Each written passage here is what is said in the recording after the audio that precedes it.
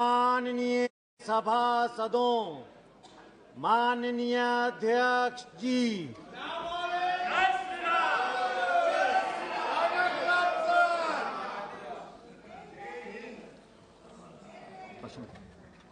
प्रश्नकाल question number one two one Shri Rodmal Nagar ji. जन्मदिन है आज रोडूमल जी का बधाई हो। Sir, a statement is placed on the table of the House.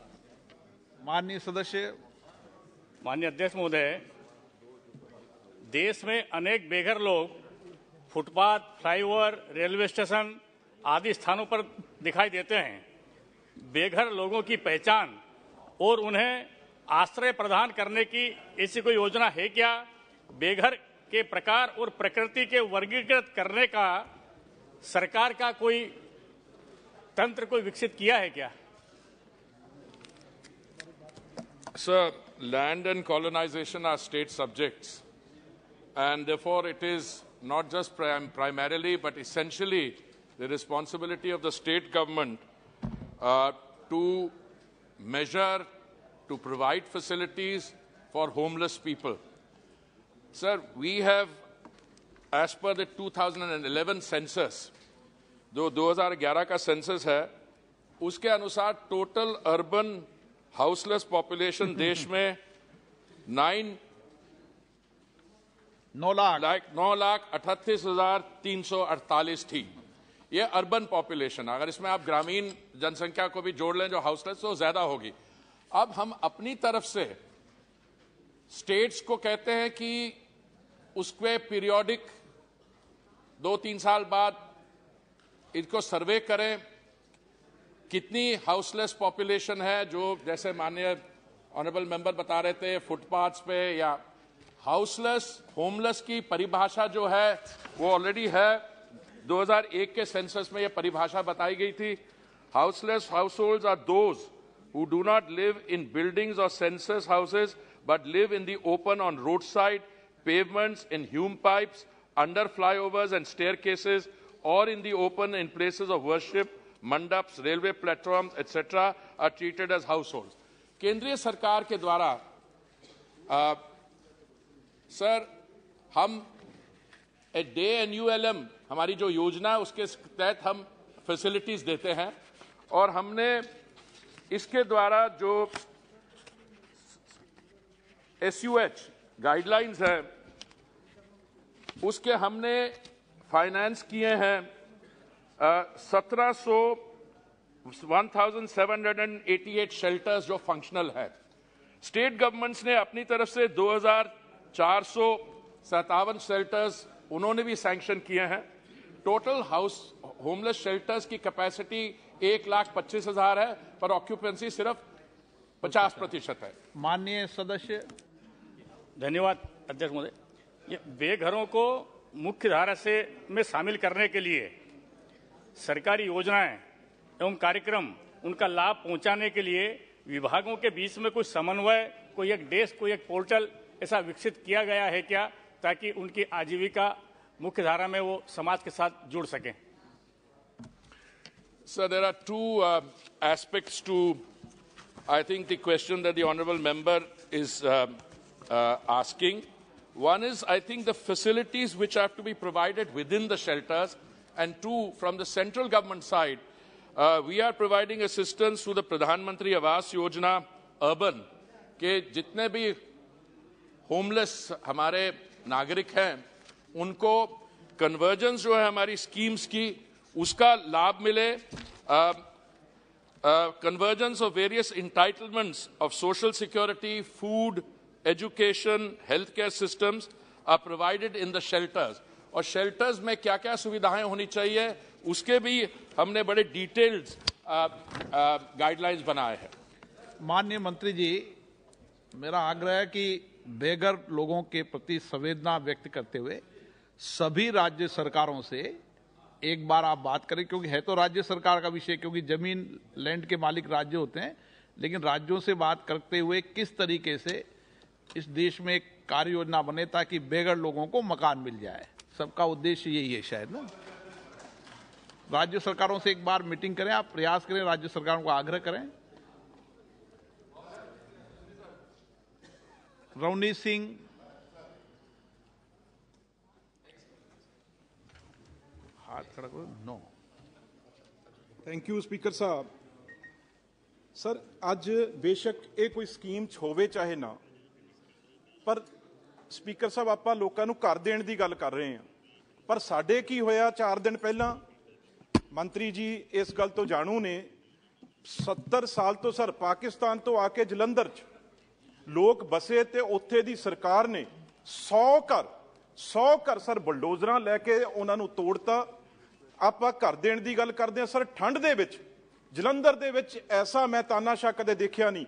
ਤੇ ਮੈਨੂੰ ਲੱਗਦਾ ਮੰਤਰੀ ਜੀ ਦਿੱਲੀ ਦੇ ਆ ਪਰ ਪੰਜਾਬੀ ਨੇ ਇਸ ਗੱਲ ਤੋਂ ਵਾਕਿਫ ਹੋਣਗੇ।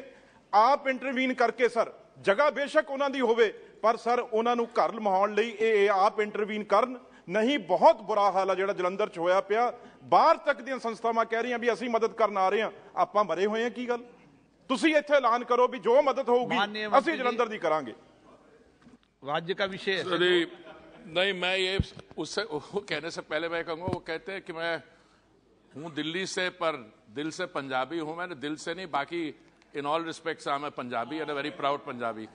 I want to assure the honourable member that I am not going to take shelter under the argument कि ये स्टेट सब्जेक्ट है और पंजाब में जो स्टेट गवर्नमेंट है, उनको इसकी रिस्पॉन्सिबिलिटी लेनी चाहिए। I join the honourable member in the sentiment I will join that sentiment and I will appeal to every one concern that people who are placed in that disadvantageous situation, they should be provided relief. And for them, in, in the case of Punjab, in any case, there are people outside the country who are willing to come and help, as the Honorable Member said. So I completely will join him and jo- endorse that sentiment so that in this, not only in whether in any climatic uh, or in any part of the uh, year when it's cold or not so cold, you have no right to uh, demolish uh, those people. I had taken exception to the use of that term even the other day in the, uh, in the other uh, house when I said there are norms which have to be followed.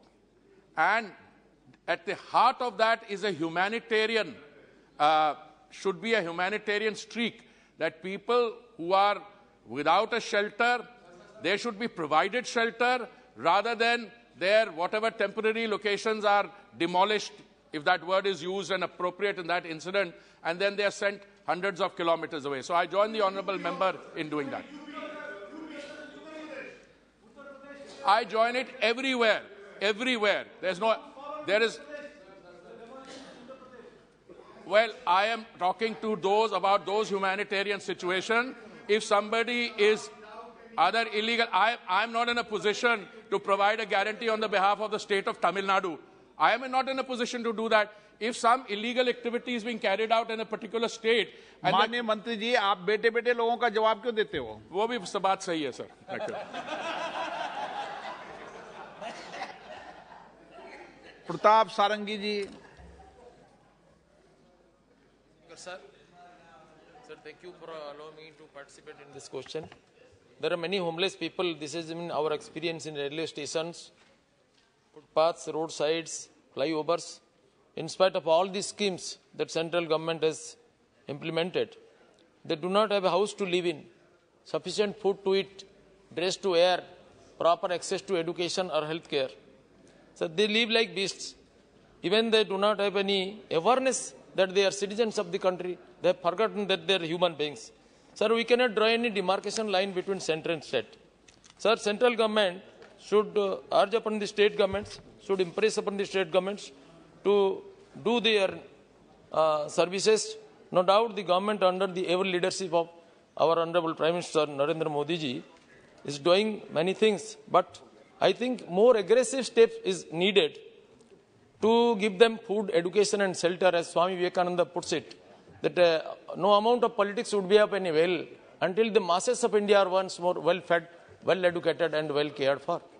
Sir, they are living in a very dirty condition, and will the government fix up a deadline by which all these problems will be settled? 100% people will be rehabilitated. And in this land of Jagannath, Ramnath, Badrinath, Kedarnath, Vishwanath, nobody should be anath. Sir, I appeal to the government through you to take steps within a specific reasonable time frame. Sir, the honorable, honorable member. Mani Mantri Mr. Speaker, sir, the first part of the Honourable Member's comment on the existence of homeless people as per the definition is correct.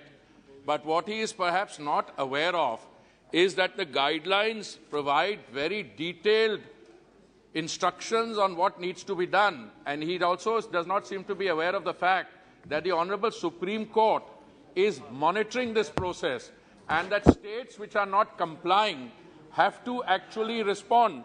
I have a state, I have a state-wise breakup of states and union territories which have sanctioned and functional uh, daycare centers.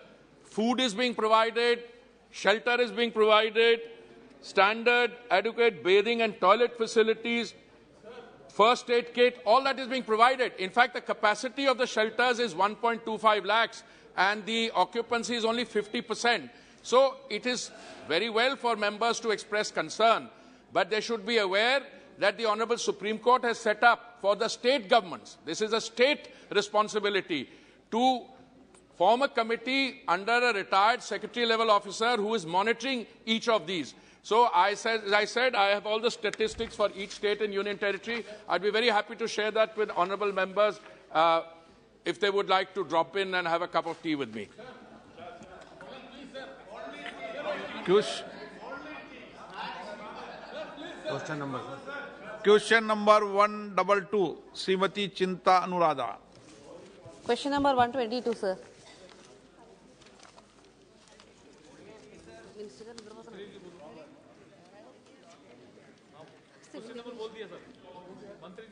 माननीय सदस्य बोल दिया sir 122 sir question number table कर दोबारा कर दें उत्तर अ, सभा पटल पे रखा गया honourable member Thank you, sir. Sir, can the Honorable Minister provide the details of the outcomes achieved through the implementation of RCS Udan in Andhra Pradesh? Does the government propose to review said implementation to identify scope for further expansion and iron out the persistent difficulties? Sir, uh, the Udan Yojana, as we are very well aware, uh, was conceptualized uh, in 2016. And under various rounds of Udan, uh, many uh, operationalized routes have been put in place in Andhra Pradesh. As of today, 28 routes have been operationalized in Andhra Pradesh. Three, two airports and one uh, waterdrome have been identified for development in Andhra Pradesh uh, Kadapa as well as uh, Prakasam uh, water barrage uh, is being worked at at a cost of roughly about uh, 20 crores. And we will continue to pursue uh, our development of Udan in every state across the country. Honorable supplementary. Sir, is the government aware that poor financial health of small, many smaller regional carriers, which has been hampering the effectiveness of the scheme, especially since the pandemic hit? What specific, specific steps have been taken to aid these smaller carriers and allow them to sustain themselves and compete with big airlines? So, as I mentioned in our uh, uh, answer earlier this week on RCS Udan, uh, this is a very important scheme from the point of view. The member has raised a very pertinent question. We have uh, tremendous international to domestic connectivity in our country. We have tremendous connectivity from tier one cities to tier one or tier two cities. But what really needs to be strengthened is last mile connectivity in our country.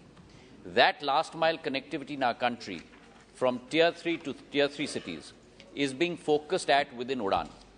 Within Udan, we are generally looking under a new part of the scheme that we have introduced in the last year, a sub scheme called the Small Aircraft Scheme, where we look at only sub 20 seater aircraft to provide uh, last mile connectivity, both in terms of uh, turboprop, jet, as well as helicopters. And I'm pleased to report to the House through you, sir, that in the last round of Udan, Udan 4.2, 132 routes have been awarded of which the major sector, 16 are uh, helicopter routes and almost 50 are seaplane routes. So our government is concentrating on last mile connectivity to make sure that the democratization of civil aviation does truly take place in the country. Santokh B. Shri B. Chandrashekhar Santokh ji है पहले listed नाम जो question में B Chandrashekhar ji का B Chandrashekhar no संतोष धन्यवाद sir मैं माननीय मंत्री चाहता हूँ कि मेरे संसदीय क्षेत्र आदमपुर एयरपोर्ट से कोविड के दौरान जो फ्लाइट्स हैं वो बंद हो गई थी, स्पाइस जेट की फ्लाइटें चलती थी। दिल्ली आदमपुर दिल्ली, आदमपुर, जयपुर, बॉम्बे। तो डेढ़ डेढ़ साल हो गया वो बंद हो गई हैं। और ये दुआबे का बहुत इम्पोर्टेंट एयरपोर्ट है और इसका नया टर्मिनल भी बन गया ऑलमोस्ट तैयार हो गया है। तो मैं यही पूछना चाहता हूँ कि ये कब शुरू हो जाएँगी? क्योंकि लोगों को बहुत भारी इनकन्वीनियंस हो रही है। दुआबा जो जलंधर है ये इंडस्ट्री सेंटर है ये बहुत अ, लोग वहाँ से एनआरआई हैं। तो डेली यहाँ दिल्ली बॉम्बे आते हैं। तो काइंडली ये बताइए कि कब ये आप शुरू करेंगे? सर नागर विमानन क्षेत्र एक डीरेगुलेटेड सेक्टर हो चुका है। इस डीरेगुलेटेड वातावरण में भी हमारी कोशिश है कि देश के कोने कोने तक, नागर विमानन क्षेत्र से हम लोग कनेक्टिविटी दे पाएँ। इसलिए उड़ान योजना एक बहुत महत्वाकांक्षी योजना है उसकी पूर्ति करने के लिए। पिछले छः वर्षों में चार सौ तिरपन रूट्स हम लोग ने संचालित किए हैं। सत्तर एयरपोर्ट जो नागर विमानन के नक्शे से मिटाए गए थे देश में उन्हें हम लोग ने दोबारा स्थापित किया है। और जहाँ तक सांसद महोदय ने आदमपुर की बात की, हमारी प्राथमिकता भी है, पर वहाँ तीन रूट्स चलती थी आदमपुर दिल्ली और आदमपुर जयपुर। ये दोनों को भी हम लोग ने उड़ान योजना के अंतर्गत चलाया था, लेकिन तीन साल की अवधि होती है वायबिलिटी गैप फंडिंग देने की, वो अवधि समाप्त हो गई है। अगले राउंड ऑफ़ बिडिंग में हम लोग एयरलाइन से भी हम लोग बात करेंगे और उनकी रुचि होगी तो इसको हम लोग ले जाने की कोशिश करेंगे। Honourable member Kirti Vardhan Singh. So under the able leadership of honourable prime minister all sectors of the country are taking remarkable stride on the path of progress and the aviation sector is no exception so it has been long bogged down by rules and was neglected But in acknowledgement of the rapidly rising middle class, a slew of reforms are taking the sector to new heights in terms of connectivity, infrastructure modernization, and fleet enhancement. So also the new policy on the annual regarding aerosports activities, this will further infuse the sector with new energy and the spirit of adventure. So in keeping with this growing demand for air travel and the increasing aerosports activities in our country, I would like to know through you from the Honorable Minister, sir, that is the government considering further streamlining the process of granting permits for the operation of small commercial aircraft and, uh, and other ultralight machines such as ultralight aircraft from private, privately owned airfields, as is in the case of helicopter operations today. Thank you, sir. Sir, uh, this question is on RCS and uh, on Andhra Pradesh in particular, but I, let me respond to the honorable member. He has raised a very valid new area of demand and growth for the country. Aerosports has a tremendous uh, future and a tremendous potential in our country. Uh, in the West, where aerosports is extremely prevalent, in the winter season, we can bring all of those aerosports to India uh, because of the weather pattern as well in India. We have uh, set up a aerosports uh, organization uh, which will be then decentralized into different state units uh, and we have mandated in terms of permissions and in terms of approvals each of those state units along with the central uh, unit will certainly look at an easing of process so we can proliferate this across the length and breadth of our country Shri Hasnain Masoodi जी हाँ, बहुत शुक्रिया जनाब जनाब इस साल जो सरकारी एदाद शुमार है उनके मुताबिक कोई अस्सी लाख के करीब टूरिस्ट विज़िट किए श्रीनगर। और ये सारा जो ट्रैफ़िक है, ये श्रीनगर ये श्रीनगर एयरपोर्ट ये हैंडल करता है। और अब बस की बात नहीं है क्योंकि इंफ्रास्ट्रक्चर नहीं है मैन पावर नहीं है 110 फ्लाइट्स आती हैं दिन में। तो मैं गुजारिश करूँगा, क्या ये कंसिडर किया जाए कि अवंतीपुरा की जो एयर स्ट्रिप है, जो ऑपरेशनल है, और इसमें कोई खर्चा भी नहीं आएगा, उसको ऑपरेशनल बनाया जाए या डिजिग्नेट किया जाए टर्मिनल थ्री ताकि साउथ कश्मीर का अमरनाथ यात्रा और पहलगाम के एरियाज़ जो है वो कवर हो जाए और श्रीनगर के एयरपोर्ट पर बोझ कम हो जाए। मंत्री जी कश्मीर में माहौल अच्छा हो गया इतनी फ़्लाइट जाती है? सर आ, हमारी सरकार की जो प्रतिबद्धता है और जो वातावरण हमने जम्मू एंड कश्मीर में आ, निर्मित किया है उसके आधार पर केवल आर्थिक प्रगति और विकास नहीं राष्ट्र स्तर पर पर्यटन जम्मू कश्मीर में एक नया ऐतिहासिक मोड़ पर आया है और अंतर्राष्ट्रीय पर्यटन भी आज जम्मू एंड कश्मीर में स्थापित हो चुका है। तो सालों सालों और दशकों बाद एक अमन चयन का माहौल और एक आर्थिक विकास और प्रगति का माहौल आज जम्मू कश्मीर में प्रधानमंत्री नरेंद्र मोदी जी के और गृह मंत्री के नेतृत्व में आज स्थापित हो चुका है। और इसका स्वयं वर्णन हमारे सांसद महोदय ने अपने प्रश्न में किया, मैं उनको धन्यवाद और साधुवाद देना चाहता हूँ। एक नया ऐतिहासिक रिकॉर्ड पर्यटकों का श्रीनगर में आयोजित हो चुका है। मैं इनको विश्वास दिलाना चाहता हूँ कि केंद्र सरकार और नागर विमानन मंत्रालय की प्रतिबद्धता है कि श्रीनगर की एयरपोर्ट की की विकास और प्रगति भी हम लोग निर्मित करने वाले हैं। हज़ार करोड़ रुपए का जो वर्तमान का टर्मिनल बिल्डिंग है, उसका एक्सपेंशन हम लोग कर रहे हैं ताकि आधुनिकता के साथ एक पूर्ण रूप से हमारे सारे पर्यटक और जम्मू कश्मीर के वासियों के लिए भी सुविधा और सुगम सुविधा हम लोग पूर्ण रूप से दे पाए। जहाँ तक प्रश्न अवंतीपुरा का है आ, मैं बताना चाहता हूँ कि ये एक सैटेलाइट एयरपोर्ट है और आ, आ, हम लोग जे के यूनियन टेरिटरी गवर्नमेंट के साथ हम लोग चर्चा कर रहे हैं कि इसको हम लोग कैसे आगे बढ़ा पाएँ। पर श्रीनगर के लिए केवल नहीं लेकिन जम्मू में भी एक्सपेंशन प्लान करीब 800 करोड़ का है। दोनों शहरों में एक आधुनिक विकसित और बड़े हवाई अड्डे का निर्माण हम लोग करने जा रहे हैं Kirti Chidambaram ji sir has the ministry considered giving an approval for an airport in Chettinad, Shivaganga, Tamil Nadu, which has an unused uh, airstrip? So, as far as uh, uh, Kartiji's question is concerned, uh, we are very clear. We have identified uh, a number of airstrips, unused airstrips across the country. All of these airstrips uh, are a part of the Udan Yojana. Uh, if he will come and meet with me, I will certainly discuss that with him. but indeed, if that particular airstrip is not a part of this current list. The state government has to put in a request to us, and we will certainly include it. And then we will take it forward depending on the state government's. Question uh, number one, two, three. Sri Kishan Kapoor. अध्यक्ष महोदय प्रश्न संख्या एक दो तीन। अध्यक्ष महोदय जवाब पटेल पर। माननीय सदस्य अध्यक्ष महोदय जो उत्तर सभा पटल पर रखा है उसमें राष्ट्रीय राजमार्ग अधिनियम 1956 की धारा तीन छः पाँच का प्रावधान का विवरण भी दिया गया है। और भारत के संविधान के अनुच्छेद एक सौ छत्तीस, अनुच्छेद 226 का भी यहाँ हवाला दिया गया जी। इसके बावजूद भी मामले बहुत अधिक है जी। सभी राज्यों में उसका मैं दूसरे सप्लीमेंट्री में कहूँगा, पर जहाँ भूमि अधिग्रहण वन भूमि सहित अन्य भू राजस्व आदि मामलों के कारण संभव नहीं हो पाता, क्या मंत्रालय राष्ट्रीय राजमार्ग के उस विशेष हिस्से का पुनः सर्वेक्षण करने पर विचार करता है, ताकि राजमार्ग कार्य अविलंब प्रारंभ हो सके और डीपीआर में संशोधन के बाद जो भूमि पूर्व में अधिग्रहित की जाती है, क्या उसे वापिस मालिकों को लौटा दिया जाता है?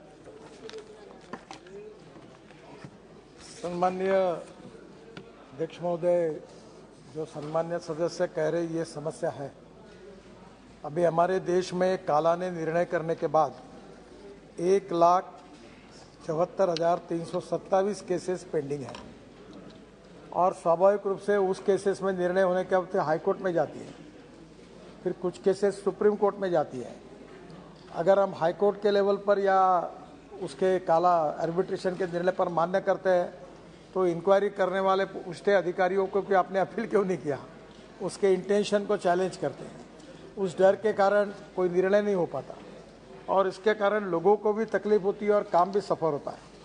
वैसे जो काला होता है हमारे देश में लैंड एक्विशन जो होता है वो राज्य सरकार का और भारत सरकार दोनों का अधिकार है क्योंकि ये कॉन्करेंट कानून बनाने का अधिकार हमारा है और नियम बनाने का अधिकार राज्य सरकार का है। और हमारा भी 1956 का एनएच का एक्ट है।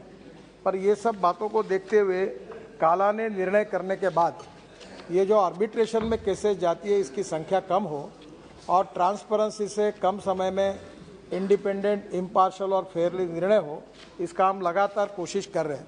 बीच में हमने एक विशेष रूप की योजना की थी। भूमि राशि पोर्टल खोला था।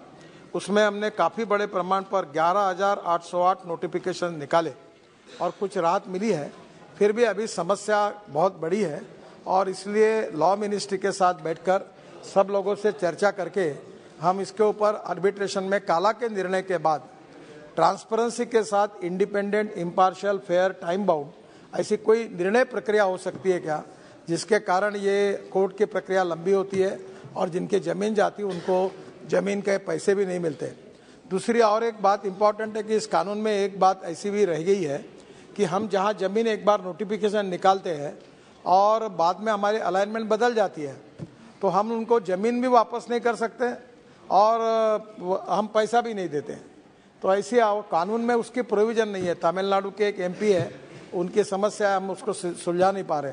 तो इसलिए इन सब बातों को विचार करते हुए इसको ट्रांसपेरेंसी के साथ करप्शन फ्री टाइम बाउंड और सिस्टम को कैसा करें, इसको हम सोच रहे हैं।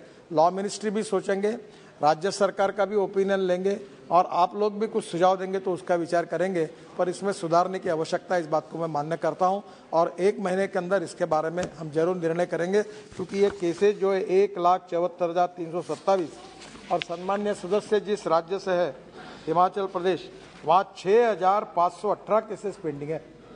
अब मुझे बताइए, चार लोकसभा का ये छोटा से राज्य में छः हज़ार पाँच सौ अठारह और हमारे कभी कभी हज़ार हज़ार दो दो हज़ार करोड़ राज्य सरकार में एक एक साल डिपॉजिट पड़े रहते पैसे वो काला में बैच लेता है। और बैंक वाले मेरे पास आते हैं कि ये डिस्ट्रिक्ट कलेक्टर के पास पैसे हमारे बैंक में डिपॉजिट करने के लिए बोलो।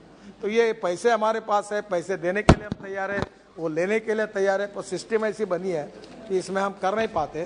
तो कानूनी थोड़ा उसमें और सुधार करके निश्चित रूप से कोशिश करेंगे। ऑनर मेंबर सप्लीमेंट्री अध्यक्ष महोदय मैं आपके माध्यम से मंत्री महोदय से जानना चाहता हूँ कि ये जो मामले हैं जैसे सबसे ज़्यादा मामले तो आपके गृह राज्य से हैं सैंतीस हज़ार तीन सौ सताईस जी। और दूसरे नंबर पर कर्नाटका आता है वो तो लिस्ट पढ़ ली सबने। आप तो प्रश्न पूछो। और पंजाब और हरियाणा भी है तीसरे नंबर पर। ये ये जो मामले हैं ये कब से लंबित हैं जी? और अभी मंत्री महोदय जी ने कहा कि इनका निपटारा हम बहुत जल्दी करने जा रहे हैं पर इसके लिए कितना समय लगेगा? क्योंकि हमारे वहाँ मंत्री है भू राजस्व के जो मामले होते हैं अगर दादा केस कर दे तो पोता भी लड़ता रहता है जी। एक कब तक इनका निपटारण होगा जी। मैं सम्माननीय स्पीकर महोदय, एक बात स्पष्ट कर दूँगा। इससे वैसे डायरेक्ट हमारा कोई संबंध नहीं है। मामले जो है, वो आपका डिस्ट्रिक्ट कलेक्टर है, वो काला है। वो निर्णय करता है। फिर उसके निर्णय के ऊपर अपील होता है कमिश्नर लेवल पर। कमिश्नर जो होता है, आपके स्टेट गवर्नमेंट का है सभी है। फिर स्टेट गवर्नमेंट का कमिश्नर अपनी पावर डिप्यूटी कमिश्नर या एडिशनल कमिश्नर को देता है। फिर मेरे पास इतनी तकरारें आई है कि वकील जो काम करने वाले वाला है क्वेश्चन में वो, और ये वहाँ मिलकर ऐसा निर्णय देते हैं कि अब मैं, मेरे पास ऐसी केसेस है, आखिर ये जनता का पैसा है। ऐसे ऐसे निर्णय आते हैं कि जहाँ एक करोड़ देना है, वहाँ दस करोड़ अवार्ड अवार्ड हो जाता है। फिर उधर से लोग तकरार करते हैं कि आप ज़्यादा पैसे दे रहे हो। तो ये पूरा मामला जो होता है, ये सिस्टम राज्य सरकार के अधीन है। मैं मैं, आप पूछ रहे इसलिए मैंने डिटेल में बताया, मैं उनके ऊपर कोई ज़िम्मेदारी डालना नहीं चाहता या उनके ऊपर टिका टिप्पणी नहीं करना चाहता ये उनका अधिकार है। मैं इतना ही कहता हूँ कि आइदर स्टेट गवर्नमेंट और central government it is important that we need to change the procedure transparently time bound result oriented qualitative and corruption free और ये सर प्रॉब्लम ऐसा है कि I have to come to you I have to change the law after passing the bill and before that the stakeholders are state government. State governments are state government act is there. I cannot uh, take decision as i like it. I need to take the advice from the judiciary from the high court from the district collector from the state administration and after that i need to uh, make that law. And that is to be a complicated procedure. It is already in the concurrent list the state list where state is supposed to make the law, the central list, the central government is supposed to make the law, and the concurrent list, the both are the stakeholders, and this is in concurrent list. And that is the problem that we need to concern with all the stakeholders and find out the option on it. We are in the process. I, I try, I will try my level best that to make it as early as possible to make it this law for the country. माननीय सदस्य Shrimati Banga, Geeta Viswanath. Thank you so much, sir. Uh, to Chairman, sir. Uh, sir, I convey my thanks on behalf of Ka- Kakinada parliamentary people to Honorable Minister for sanction of 516F new NH to Kakinada, sir. Thank you so much, sir. Uh, and I would like to know from the Honorable Minister, uh, according to answer, thousands of cases are pending with uh, for regarding NH, sir. Uh, sir, uh, in my co- constituency, Komargiri village is there, sir, in Pitapuram constituency. Sir, surrounding areas are getting, farmers are getting 51 lakhs. But this area is in only 27 lakhs. Uh, in these days, day by day, land acquisition cost is rising, sir, land cost. Uh, uh, please uh, do with humanitarian grounds according to your level. And I would like to suggest one issue, sir. Regarding arbitration, uh, the collector is saying with arbitration only 30% is there, sir. I know you already uh, uh, said in the answer, uh, sir, uh, collector is, uh, is there any... माननीय मंत्री जी। Uh, sir, is there any team for uh, rising adm- uh, the, uh, arbitration amount from 30% to 60% or honourable 70%? Member please Thank you, sir. सम्मान्य speaker महोदय आपको भी शायद ये पता होगा आजकल लोग मेरे पास हमारी लैंड रोड में लो मत अलाइनमेंट बदलो इसके लिए कोई नहीं आता मैं हमारी लैंड लो और एमपी साहब आते इधर नहीं इधर से लाओ इधर से लेके जाओ इसका मतलब यह है कि बाज़ार भाव से भी अच्छी प्राइस मिल रही है। चार गुना लोग खुश है। प्रॉब्लम यह है कि कुछ जगह पर लैंड जो होती है ये आ, इसका इसका जो लैंड यूज़ होता है वो एग्रीकल्चर है कि अर्बन है? तो इंडस्ट्री एखादी खड़ी होती है वो पावर मीटर लेता है वो बोलता है मेरी लैंड इंडस्ट्रियल है। और गवर्नमेंट रिकॉर्ड कहता है ये एग्रीकल्चर है। तो एग्रीकल्चर का रेट अलग है इंडस्ट्री का अलग है अर्बन का अलग है। फिर उसके डिस्प्यूट होते हैं। ये इसी इसी प्रकार के इशू है। तो मैं आपको एक ही बताऊँगा कि इसमें कॉम्प्लिकेशंस है। इसमें जल्दी निर्णय नहीं होता है। रेट ज़्यादा है। और मैडम, आपको बताओ उत्तराखंड में हमने निर्णय किए और ज़्यादा भाव दिए तो हमारे अधिकारियों की फिर इंक्वायरी होकर राज्य सरकार ने रिकमेंड करके सरकार बदल गई। तो हमारे अधिकारियों की इंक्वायरी जब सीबीआई में तो उनको पूछा गया कि आपने क्यों कोर्ट में अपील नहीं किया? आप चुप क्यों रहे? तो अधिकारी अब सुप्रीम कोर्ट तक जाना है। वो बोलते निर्णय कैसे करें? तो सब बाजू से थोड़े बहुत समस्या है पर पब्लिक इंटरेस्ट में और आपकी भावना को लेकर एक महीने के अंदर इसके ऊपर पूरा सोचकर सब स्टेक होल्डर से बात करके हम कोई सोल्यूशन लेकर आएँगे और इस प्रॉब्लम को सुलझाएँगे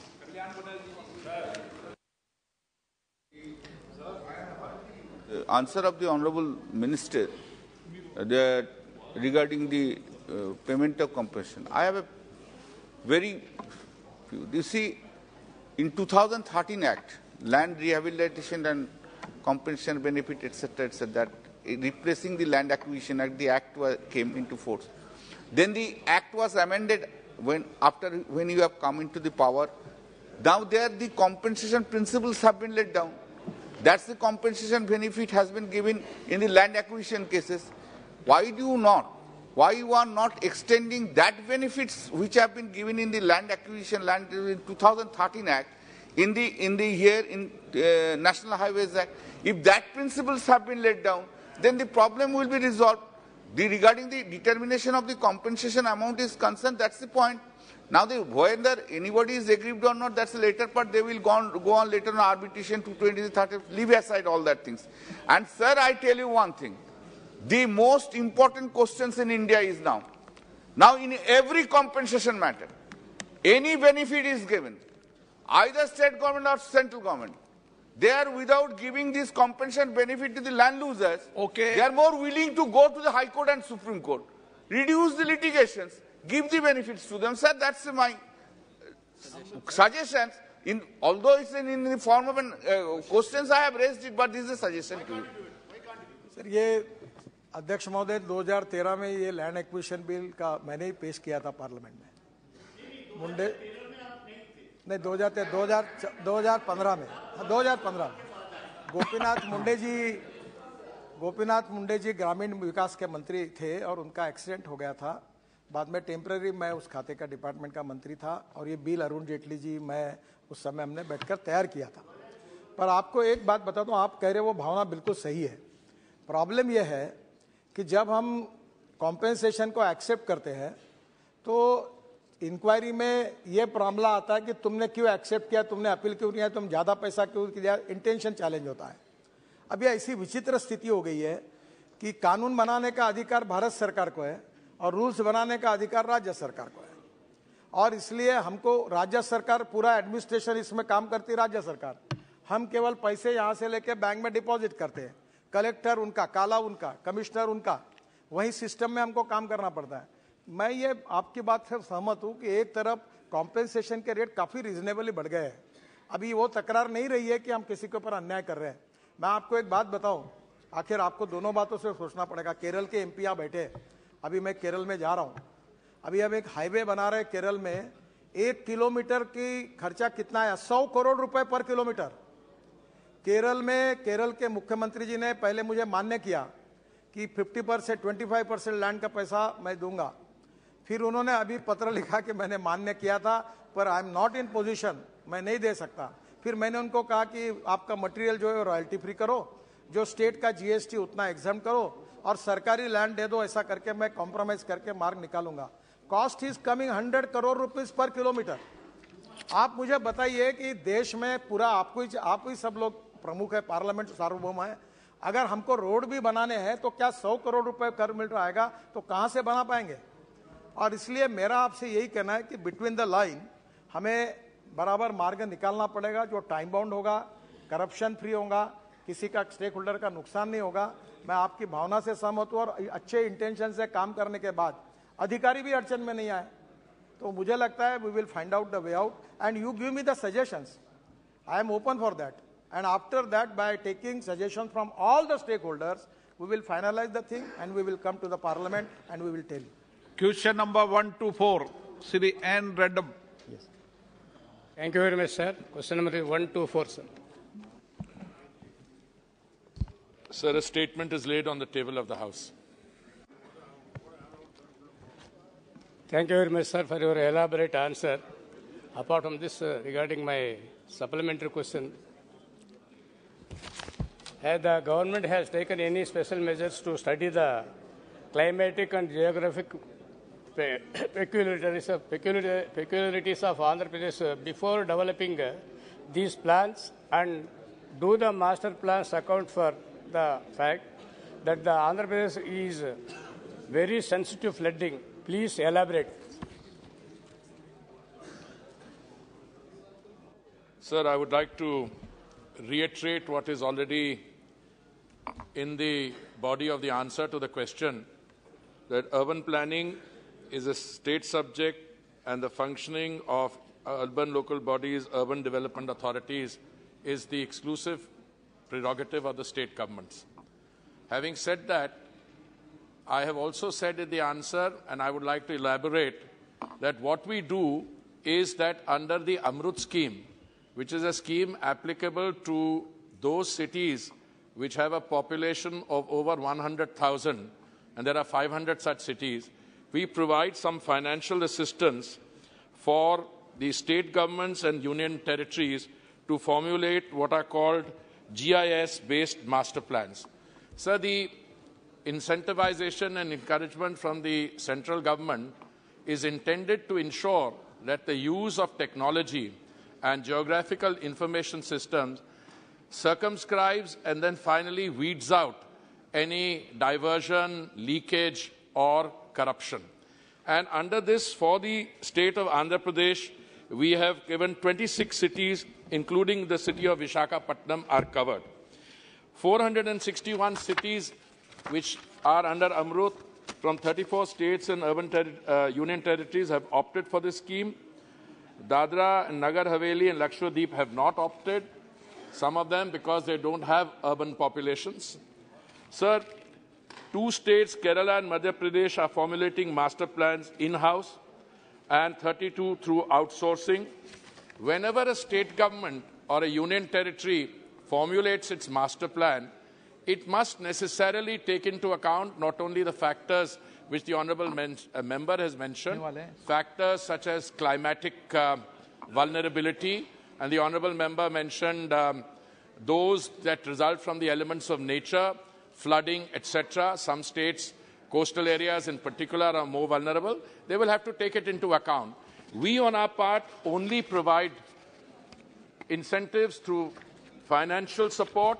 Out of this, we have already provided a total of 515 crores for these five, 500 uh, Amrut cities. And now, under Amrut 2, sir, we are carrying the scheme forward to those cities which did not qualify under Amrut, but which are, have a population from 55 to 99 lakh. Under the reforms of Amrut, all cities have to map their water bodies, rejuvenate water bodies, carry out green areas, and these steps the master plan should take into account because these provide sensitivity, both in terms of vulnerability, sometimes there's excess water, sometimes there's drought, but then I don't think the states and union territories uh, would want the central government to do this because this is very much a part of the uh, constitutional uh, division, uh, and I think most states would be wanting to preserve their jurisdiction when it comes to the preparation of such master plans. Honorable member supplementary? No?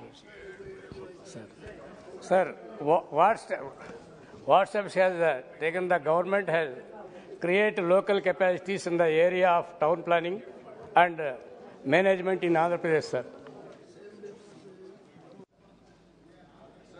uh, specific question that the honorable member is asking is about capacity building, and I'm very happy to inform him that under the same scheme, we provide capacity building and training, and so far we have trained 2,606 officials through 73 training programs, and this includes 61 from Andhra Pradesh, out of which 25 in particular are from Vishakhapatnam.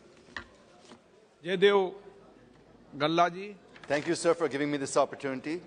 Sir, there are two aspects to this question. One is preparing the master plan for cities, and the other is the development of cities for which master plans have already been prepared, sir. Sir, Amaravati, the capital of Andhra Pradesh, which I represent in this House, is one such city for which a master plan has been prepared and development projects of the city have also been taken up. The work of various projects went on well till 2019, but after that, the ministry has stopped executing the works. Since it is question hour, sir, I'll be very specific and pointed and request the minister to be specific and pointed as well, sir. Sir, as far as I can remember, 25 work orders under 20 projects with an estimated cost of 2,000 crores under the Smart City mission have been issued for Amaravati in Andhra Pradesh. But not even a single work has been completed till date, sir.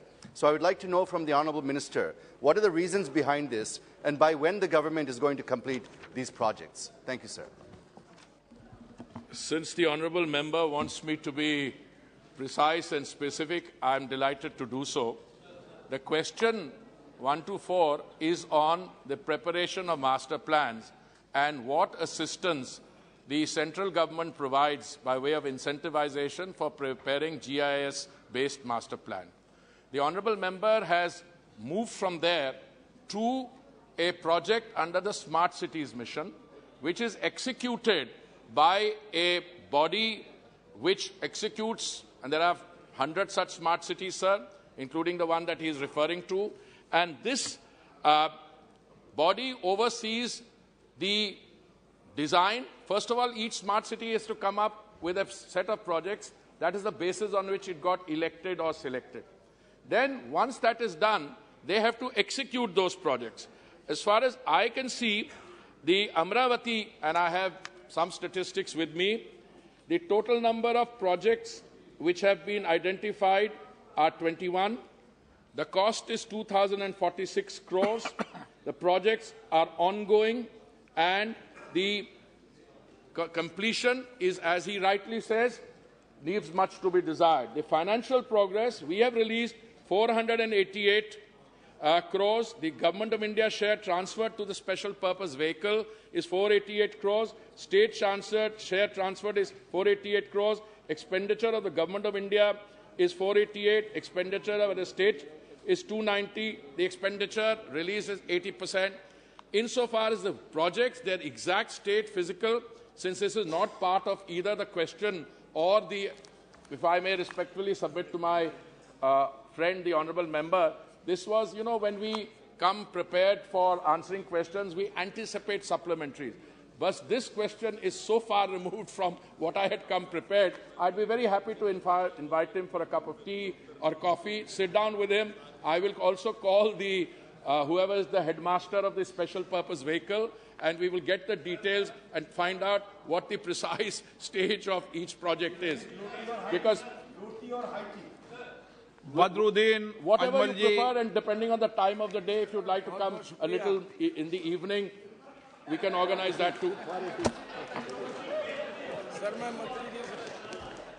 मंत्री जी से ये पूछना चाह रहा हूँ, मैं north east से गुवाहाटी से आता हूँ। और गुवाहाटी जो है, हमारा नॉर्थ ईस्ट का आप जा चुके हैं, वो गेटवे है। लेकिन उस शहर की जो हालत खराब है हज़रत, सर, वो बहुत बुरी हालत खराब में है। जरा सा बारिश हो जाती है सेकंड फ्लोर थर्ड फ्लोर तक पानी चला जाता है। लास्ट ईयर तो रिकॉर्डेड बारिश हुई। किसी गली में जा नहीं सकते थे। आसाम के लोग इसके प्रमोट करेंगे कि उसको एक टूरिस्ट एरिया भी है तो क्या मास्टर सर इसको मास्टर प्लान में लेंगे या लिया है तो बहुत बहुत शुक्रिया नहीं लिया है तो ज़रूर लेंगे मुझे इसकी उम्मीद है Sir, as I mentioned earlier, and I'm happy to reiterate, the preparation of the master plan is a function which is carried out by the state government. And I have no doubt that the state government, in the preparation of the master plan, will certainly factor in the points made about uh, excessive rainfall or the climatic vulnerability, which we are all very familiar with. And I'm sure I would be happy to sit down with the honorable member and talk to the state government and find out what exactly is the state of preparation. Uh, I am told that the state government is still to prepare uh, a management plan, aquifer water management plan under Amrut. So we are in touch with the state government precisely to do that. But my offer stands. I'll sit with the honourable member and with the state government uh, representatives to find out what the stage of the preparation of that plan is. Sri Manickam Tagore ji, Sir, thank you so much, sir. Sir, in the reply, Honorable Minister has replied that master plans have been uh, prepared for, approved for 152 uh, cities, and a draft GIS-based master plan has been formulated for 132 cities. Among these cities, how many are from Tamil Nadu, and whether for Madurai Corporation and Sivakasi Corporation, any master plan has been approved? how much government of India has allotted for the two cities of Madurai and Sivakasi. And Sivakasi Corporation is the youngest corporation in Tamil Nadu. Therefore, I request the Honorable Minister to be little generous on Sivakasi. Thank you. Uh, I would like to share with the honourable member that generosity by the central government should be taken as a given. We provide money for the country as a whole. So, as I said, for the preparation of master plans in 500 cities, which are covered under the Amrut Yojana, we have provided, I think, if I remember offhand, a total of 631 crores or thereabouts. I stand to be corrected on the precise figure. Now, all the cities in Tamil Nadu, which car Amrut cities, have the option of availing of that facility. Insofar as whether Madurai or any other particular city has availed of the, this is something that I am in the process of ascertaining. And even whilst we speak, if I have the answer, uh, I'd be happy to place it. Otherwise, I'd be happy to meet my friend and uh, uh, share that information because I carry the broad framework, but this is a state government uh, issue whether they have, we, I know 461 have availed of it and they are under preparation. But whether a particular city has prepared it already or is in the pipeline, I'd be happy to share that. Question number 125, Sri K. Muraleedharan. Question number 125, sir. Sir, a statement is laid on the table of the House. Sir, the petrol price in India was uh, 7.41 per liter in May 2014. 70. When, uh, 71. when uh, the 71. international 71. Uh, when the international crude oil price was US dollar 106.86 per barrel, but today the petrol price is more than 100 per liter when the international crude oil price is US dollar 7.799 per No, no, no, barrel. 77. So 77, 77.99 per barrel. I would like to know why the petroleum products price in India is not maintained or reduced in corresponding with the international crude oil price. I want to thank the honourable member for making it rather easy for me. I want to remind the honourable member that prices of petrol and diesel were deregulated in 2010 and 2014 respectively. We have on our own done a study of what happened in 2014 and we've done a study for seven to eight years, starting 2014. And I'd be happy to share those details with my friend. I don't know uh, whether I have the study with me just now, but I can remember offhand. In the last eight years, the increase has been the lowest since 1974. Because I know 1974 and 1973 because that's a time when I was in the student in the university and I had the privilege of filling up on the bunk on a two-wheeler uh, uh, periodically. So today, typically what has happened is that international, because we are deregulated, the price of petrol at the bunk is determined by the cost of production as per the indices which are available, the cost of transportation, that is the freight, insurance charges, and the exchange rate, because you're paying in a, in a dollar. Now, I don't know what today the dollar rate is X. In 1974, it was very different. Then you add to that the refiner's margin, dealer's margin, and then the central government excise and the state government's VAT. The central government, in order to maintain the price at the bunk at a reasonable level, reduced the excise duty on two occasions in November 2021 and May of 2022. And I'm happy to inform you that some other states also reduced the VAT. Now we have a situation where some of the states, I'm not calling them BJP states because there are one or two others which have also reduced their VAT. Some of them are charging VAT at the rate of 17 rupees. Other non-BJP states are charging at 32 rupees. So there is a differential. When the honorable member was saying today the cost of petrol is 100 in some places. In some places, non-BJP states, in others it is 8, 10 rupees cheaper. Today, the important issue is at a time when the global situation, I'm talking about the geopolitics, is facing many uncertainties. Let me give you the example of petrol prices. Petrol prices internationally went up by a large margin. They went up by percentages which are, uh, you know, sometimes 40% higher, 50%. In India, petrol price increased only 2% during that representative period between uh, 21 and 22. Why? Because we reduced our excise. And we urged states also to reduce their VAT. Some did, some didn't. Now what has happened is that the ability to keep the price steady and allow the release increase of petrol only at 2%, while internationally it went up by a very large percent, was because the OMCs, as good corporate citizens, took a loss. The OMCs, for instance, I have some figures here uh, which are very telling. at a time when they made uh, the profit before tax of rupees 28,360 crores in H1 of financial year 2021-22. This is a profit before tax of 28,360 crores. These three companies, IOCL, BPCL, and HPCL, now in the H1 of the further year, they have booked a combined loss of 27,276 crore in H1. So it is a combination of the central government's reduction of excise at a time when we were going through a very difficult period and there were other expenditure liabilities. State governments reducing their VAT.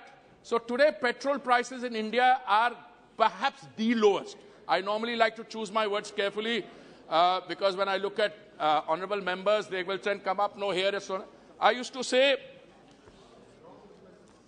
the average price of crude of the Indian basket increased by 102%. It went up from $43.34 to $87.55 between November 2020 and November 22. The retail price at that time when it was up by 102% of petrol went up only by 18.95%. Now, how much of this is the exchange rate variation? That is one question.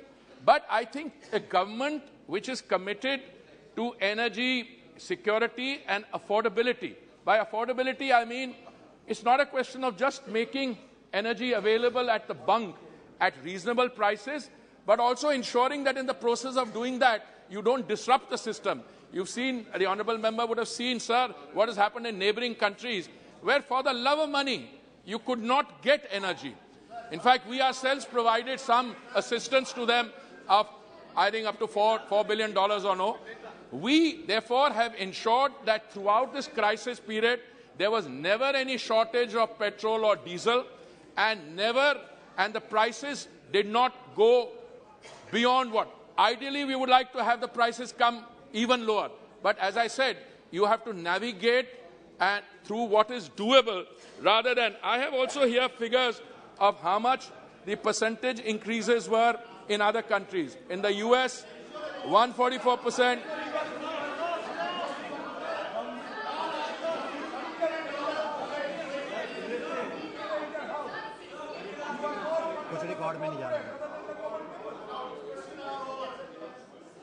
Honorable Mr. Speaker, sir, I am, I am very happy to share details and I'm also your disciple. I follow your instructions. I don't respond to things which are said when people are sitting. But let me say, I think this is an occasion where the honorable members सब दिया हुआ है तो अगर मुझे आपको लगता है मुझे मौका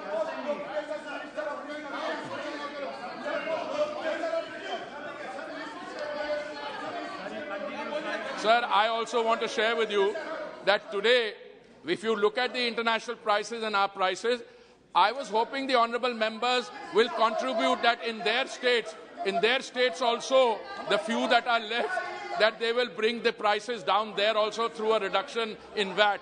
But I don't see that happening. If मैं Master Speaker sir,